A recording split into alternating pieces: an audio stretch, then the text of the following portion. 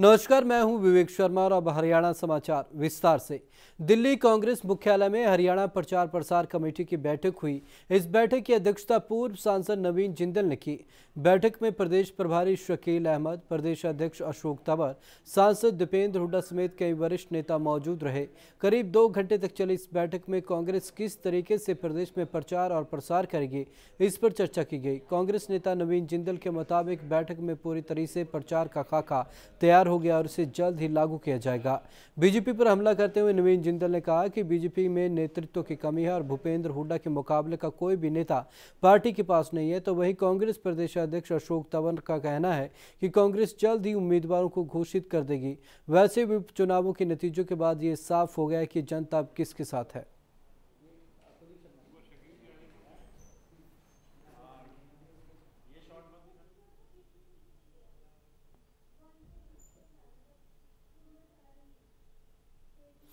बल्लभगढ़ की विधायिका एवं मुख्य संसदीय सचिव शारदा राठौर से विधानसभा चुनाव से किनारा करने की घोषणा करते हुए प्रदेश कांग्रेस अध्यक्ष अशोक तंवर पर गंभीर आरोप लगाए हैं।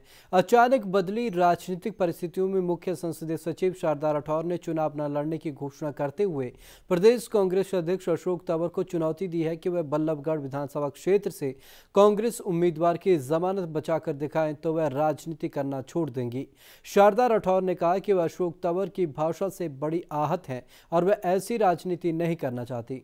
उन्होंने माना कि उनके साथ नौकरियों में भेदभाव हुआ था, जिसके चलते उन्होंने कांग्रेस पार्टी को छोड़ने का मन बनाया था। लेकिन कांग्रेस उनकी माँ समान है और माँ को छोड़ने से दुख होता है, इसलिए उन्होंने पार्टी में फिर से मजबूती के साथ काम करने का मन बनाया।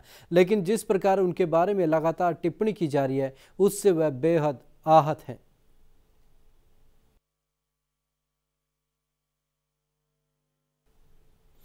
हरियाणा कांग्रेस के प्रवक्ता रण सिंह मान ने कहा है कि पार्टी की टिकटों के बंटवारे को लेकर मुख्यमंत्री भूपेंद्र सिंह हुडा और पार्टी के प्रदेश अध्यक्ष अशोक तंवर में किसी तरीके का तकरार नहीं है। मान ने कहा कि दोनों नेताओं के बीच योग्य और जिताऊ उम्मीदवारों के चयन को लेकर विचार विमर्श ज़रूर चल रहा है, लेकिन कोई नाराज़गी नहीं है। रण सिंह मान चंडीगढ़ में पत्रकारों से बात कर रहे थे। मालूम हो कि इन दिनों राजनीतिक हलकों में ये चर्चाएँ आम है कि कई सीटों पर उम्मीदवारों के चयन को लेकर तंवर और सीएम हुड्डा में तनातनी चल रही है। मान ने कहा कि कांग्रेस जल्द ही उम्मीदवारों के नाम फाइनल करके केंद्रीय कांग्रेस चुनाव कमेटी को भेज देगी और एक दो दिन में पार्टी उम्मीदवारों के नाम का ऐलान कर देगी। साथ ही मान ने क्षेत्रवाद को लेकर प्रदेश की कांग्रेस सरकार की आलोचना करने वाली भाजपा पर पलटवार करते हुए कहा कि सबसे ज़्यादा क्षेत्रवाद प्रधानमंत्री नरेंद्र मोदी कर रहे हैं और उपचुनाव के नतीजों का फ़ायदा हरियाणा विधानसभा चुनाव में कांग्रेस को मिलेगा।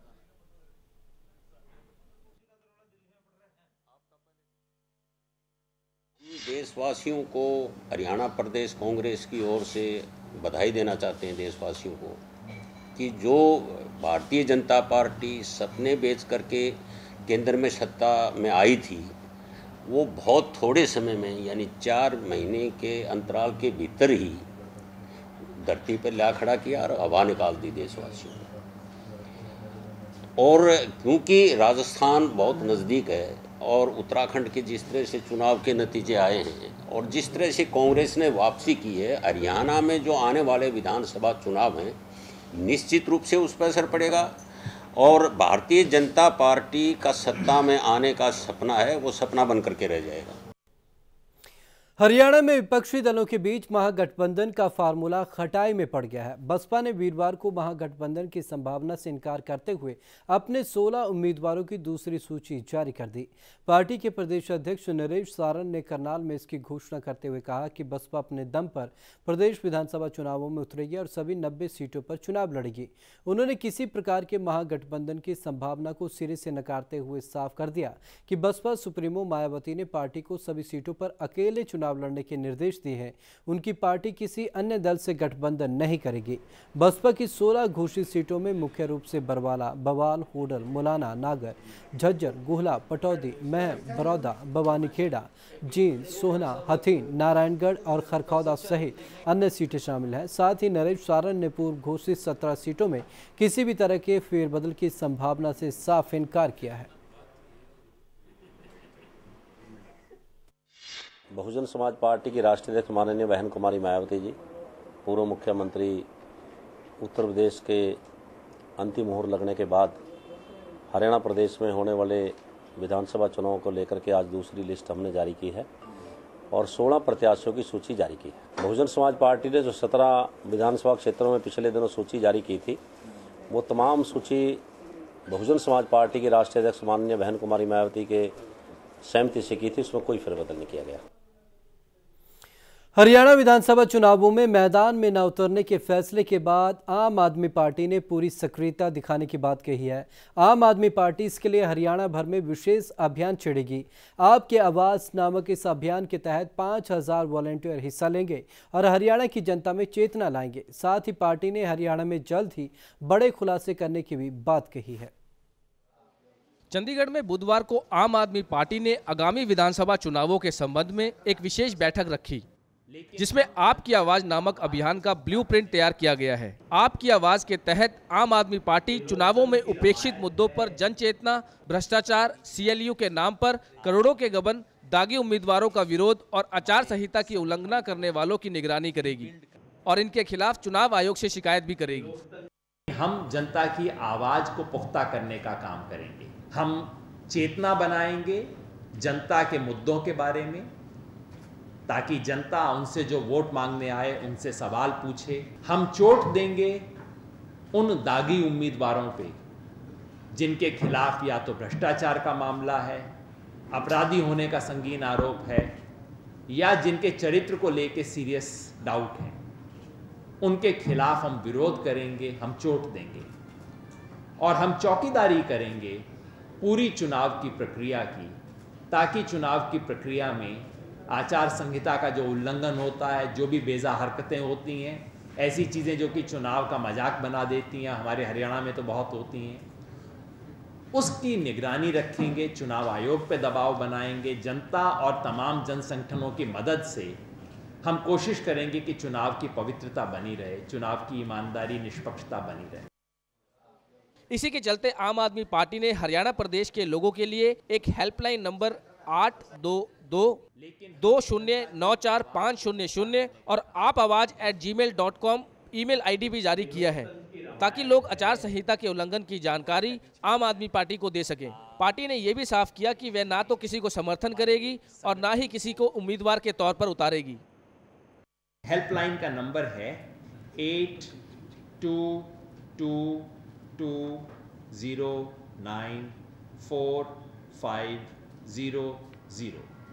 ये हेल्पलाइन है जी हमारी, और एक ईमेल भी हमने बनाई है जी। आप Aawaz double A P A W A Z at Gmail dot com दो ज़रिए बनाए हैं, जनता से हम अपील कर रहे हैं कि आप सूचना दीजिए। और हम जनता को भरोसा दिलाना चाहते हैं कि आपकी सूचना देने वाले की पहचान बिल्कुल गुप्त रखी जाएगी। आपके पास जो सूचना है, हमें दीजिए। साथ में प्रमाण भी भेजिए एविडेंस भी भेजिए बहुत ज़रूरी है। हम एविडेंस की जाँच खुद करेंगे लेकिन सूचना देने वाले का नाम पहचान पूरी तरह से गुप्त रखेंगे ये सब इसलिए कर रहे हैं कि हरियाणा की राजनीति में कुछ बेहतर हो सके चुनाव की पवित्रता लोकतंत्र की पवित्रता बची रह सके। यादव के अनुसार आम आदमी पार्टी चाहे चुनाव ना लड़ रही हो लेकिन चुनाव के दौरान और उसके बाद भी इसकी जिम्मेवारी को निर्वाह करेगी। लेकिन हम जनता की आवाज़ आम आदमी पार्टी नेता योगेंद्र यादव ने आरोप लगाया कि सभी राजनीतिक पार्टियों के घोषणा पत्र में अगंभीर और बेहिसाब वादों की झड़ी लगाई गई है। किसी पार्टी के पास हरियाणा कैसा हो, इसका सपना तक नहीं। बहरहाल 21 सितंबर को आम आदमी पार्टी आपकी आवाज़ लेकर अभियान शुरू कर रही है। चंडीगढ़ से कैमरामैन अमनदीप सिंह के साथ Manoj Rathi, day night news. और इस समय एक और बड़ी बड़ी अहम खबर आ रही है, सेक्टर बावन से कार में लूट हुई है। पुलिस की वर्दी में मौजूद थे ये लुटेरे।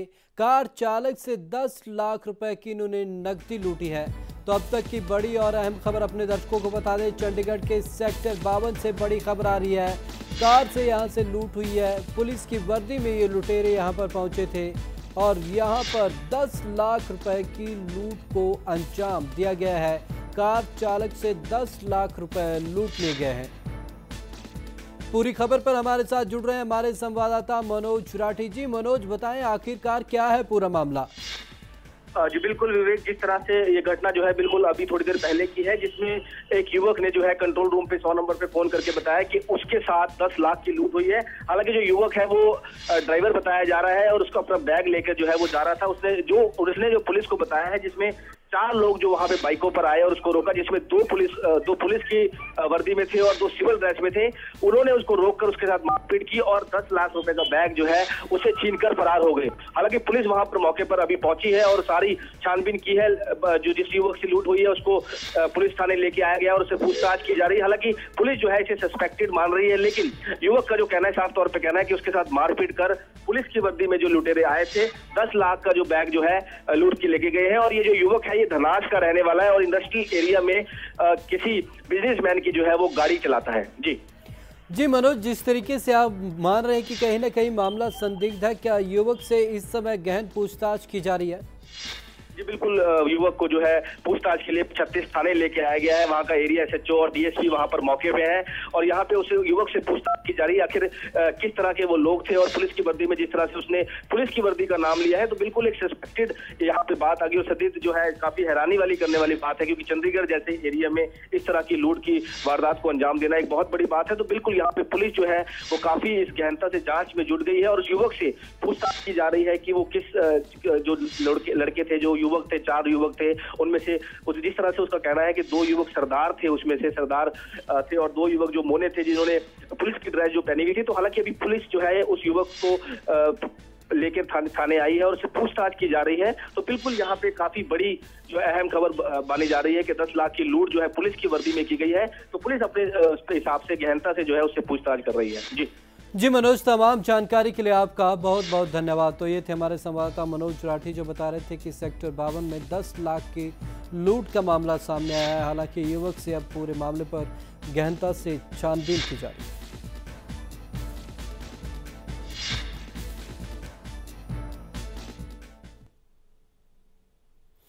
भले ही आप पार्टी विधानसभा चुनाव ना लड़ रही हो, लेकिन वे अपने प्रचार करने में पीछे नहीं है। इसी के चलते चंडीगढ़ में आम आदमी पार्टी के नेता योगेंद्र यादव ने अपने कार्यकर्ताओं के साथ बैठक की, जिसमें उन्होंने भ्रष्टाचार अपराध में संलिप्त उम्मीदवारों के खिलाफ रणनीति तैयार की। यादव के मुताबिक, जिन भी पार्टी के उम्मीदवारों में भ्रष्टाचार अपराध में संलिप्त है, पार्टी इनके विरोध में अभियान चलाएगी और जनता को जागरूक करेगी। और भी कई मुद्दों पर योगेंद्र यादव से बात की हमारे संवाददाता मनोज राठी ने। बेशक हरियाणा में आम आदमी पार्टी ने चुनाव ना लड़ने का फैसला किया है, लेकिन विधानसभा चुनाव निष्पक्ष तरीके से करवाने के लिए उन्होंने एक अभियान शुरू किया है, आपकी आवाज़, जिसके चलते आज योगेंद्र यादव जी हमारे साथ हैं। जिस तरह से आपने अभियान शुरू किया है, आपकी आवाज़, क्या चीज़ें उसमें आपने रखी हैं और आगे के लिए जो विधानसभा चुनाव निष्पक्ष तौर पर कराया जाए क्या क्या जो आपका फॉर्मेट होगा? देखिए, हम एक आंदोलन से निकली हुई पार्टी है। हम राजनीति में इसलिए आए ताकि आम लोगों की आवाज़ उठ सके, राजनीति की सफ़ाई हो सके। हमने चुनाव में उम्मीदवार ना उतारने का फैसला किया है। हमारे पास उतने साधन नहीं हैं। दिल्ली चुनाव से पहले हम किसी और चीज़ में फंसना नहीं चाहते। लेकिन इसका मतलब ये नहीं कि चुनाव में हम चुप बैठेंगे। इस चुनाव पार्टी बनाने से पहले भी जो हम करते थे आंदोलन के नाते, वो तो हमारा फ़र्ज़ बनता है। तो इसके लिए आम आदमी पार्टी आपकी आवाज़ अभियान के तहत तीन काम करेगी। पहला, चेतना। यानी जनता की जन चेतना बनाना उन मुद्दों के बारे में जिस पे सब पार्टियाँ चुप बैठी हुई हैं, ताकि जब लोग वोट मांगने आएँ तो पब्लिक उनसे कुछ सवाल पूछ सके। सवाल भ्रष्टाचार का, लोकायुक्त का, शराब का सवाल, बिल्डर माफिया का सवाल, नौकरियों में जिस किस्म का भ्रष्टाचार, बेईमानी, लूट होती है, उसका सवाल, शिक्षा का, स्वास्थ्य का, जो तमाम असली मुद्दे हैं जिसके बारे में पूरे हरियाणा की पार्टियाँ चुप हैं, वो सवाल उठाएँगे। दूसरा काम हम करेंगे चोट। यानी कि ऐसे दागी उम्मीदवारों का सवाल के बारे में प्रमाण उठाएँगे जो अपराध में, भ्रष्टाचार में या चरित्रहीनता में शामिल हों। ऐसे लोगों का नाम जनता के सामने रखेंगे और उनके हलके में जाके हम उनका विरोध करेंगे ताकि गलत किस्म के लोग चुन के ना आए। तीसरा काम चौकीदारी। चुनाव की प्रक्रिया में आचार संहिता का उल्लंघन ना हो ईमानदारी और निष्पक्ष तरीके से चुनाव हो। उसके लिए जनता और संगठनों के साथ मिलकर चुनाव आयोग पर दबाव डालेंगे ताकि ये नियम लागू हो सके। जिस तरह से बात करें भाजपा और कांग्रेस की बड़े बड़े दावे किए जा रहे हैं। भाजपा का एक मोदी फैक्टर जिस तरह से लोकसभा चुनावों में एक मोदी फैक्टर बहुत काम आया है। तो अब आपको क्या लगता है जिस तरह से उपचुनाव जो नतीजे आए हैं उसको कैसे देखते हैं आप? मैं समझता हूँ बीजेपी के साथ तीन चीज़ें एक साथ हो रही हैं। पहला तो हरियाणा में तो उसका टोटल कांग्रेसीकरण हो गया है। अब तो पहचान अखबार पढ़ के याद करना पड़ता है कि कौन आजकल बीजेपी में और कौन कांग्रेस में हर दूसरे दिन स्थिति बदल जाती है। दूसरा, बीजेपी ठीक वही फॉर्मूले अपना रही है जो कि कांग्रेस अपनाया करती थी। वही जात बिरादरी का खेल, वही उसी तरह का ध्रुवीकरण, साथ में धर्म का खेल और खेल रही है। तीसरा, पिछले कुछ समय में मोदी सरकार के बारे में जिस तरह के बड़े बड़े वायदे दावे किए गए थे वो दावे थोड़ा हल्के साबित हो रहे हैं। मैं ये नहीं कहूँगा कि वो हवा उतर गई है ख़त्म हो गई है। लेकिन राज्य स्तर पे उसका कोई असर नहीं है। आपने उत्तर प्रदेश में देखा बिहार में देखा कर्नाटका में उत्तराखंड में। राज्य का चुनाव राज्य के मुद्दों पे लड़ा जाता है। केंद्र मोदी वेव इसकी परछाई भी इन पे नहीं पड़ रही है। और अगर ये सच है तो भारतीय जनता पार्टी को के लिए खतरे की घंटी है। अगर बात करें कांग्रेस की मुख्यमंत्री हुड्डा के अभी भी कई अंदर भीतर घात की बातें चल रही हैं या भेदभाव की बातें चल रही हैं उसको किस तरह से देखते हैं? कांग्रेस तो पूरी तरह से डिस्क्रेडिटेड हो चुकी है। लोग निराश नहीं है कांग्रेस से लोग गुस्सा हैं। इस चुनाव के शुरू होने से पहले ही लोग मन बना चुके हैं कि कांग्रेस का तो नामो निशान नहीं रहेगा। कांग्रेस तो हारेगी बुरी तरह हारेगी हरियाणा में। ये तो तय है इसलिए ये जो नई नई चीज़ें आ रही हैं, ये तो रोज़ निकल के आएँगी। हकीकत ये है कि कोई नेता कांग्रेस का चुनाव लड़ना नहीं चाहता। हर कोई अपनी अगली पीढ़ी के लिए इंतज़ाम करवाना चाहता है। कांग्रेस मान चुकी है कि वो चुनाव हार गई है और एक हारी हुई पार्टी की तरह वो चुनाव लड़ रही है। ऐसे में कुछ अच्छा परफॉर्म करने का तो मतलब ही नहीं होता। तो बिल्कुल जिस तरह से आम आदमी पार्टी ने एक लोगों को जागरूक करने के लिए जो है 21 तारीख से एक आपकी आवाज़ अभियान शुरू किया है, जिसमें दागी नेताओं और भ्रष्टाचारियों के खिलाफ जो है इन्होंने एक कदम उठाया है और लोगों को जा जाकर जो है जन जन में जिलों में जाकर यहाँ पर लोगों को बताया जाएगा कि वोट जो है वो बिल्कुल सही जो है उम्मीदवार को दिया जाए। चंडीगढ़ से कैमरामैन अमनदीप सिंह के साथ Manoj Rathi, day night news. Haryana में 15 अक्टूबर को विधानसभा चुनाव होने जा रहे हैं और चुनाव आचार संहिता का पालन सुनिश्चित करवाने के लिए चुनाव आयोग भी पूरी सतर्कता बरत रहा है। बावजूद इसके, चुनाव आचार संहिता की खुलकर धज्जियाँ भी उड़ाई जा रही हैं, जिसका नज़ारा सिरसा के बेगू रोड पर मिल्क प्लांट से लेकर गाँव बेगू तक सड़क के बीचों बीच देखने को मिल रहा है।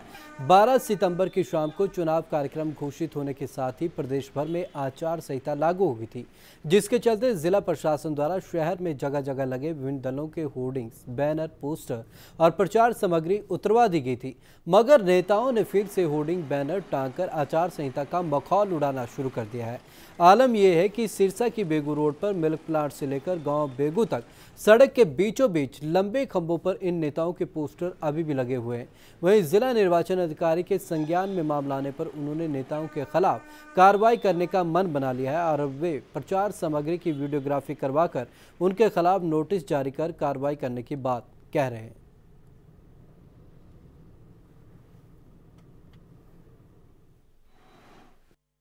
अभी मैं अगर बाहर पर एक बार सारे हटा दिए गए थे, अगर फिर से दोबारा लगाए गए हैं, मैं अभी फ्लाइंग स्क्वाड को आर के माध्यम से भिजवा रहा हूँ और सभी की वीडियोग्राफी करके, उनका एविडेंस तैयार करके उनको नोटिस देंगे और उनके ऊपर जो प्रॉपर कार्रवाई है वो करवाएँगे। साथ ही साथ जो भी हटाने का खर्चा होगा उनसे वसूल करेंगे।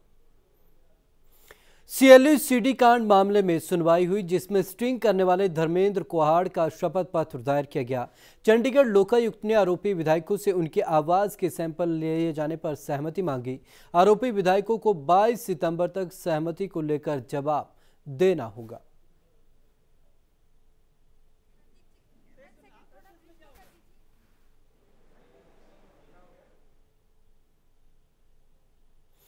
हरियाणा समाचार में अब तक के लिए बस इतना ही। विवेक शर्मा को दीजिए इजाज़त। नमस्कार। खबरों की दुनिया में आइए। हमारे साथ कहीं भी और कभी भी जुड़िए। हम मिलेंगे फेसबुक पर। हम दिखेंगे यूट्यूब पर। हमें फॉलो कीजिए ट्विटर पर। खबरों के साथ बने रहिए रात दिन।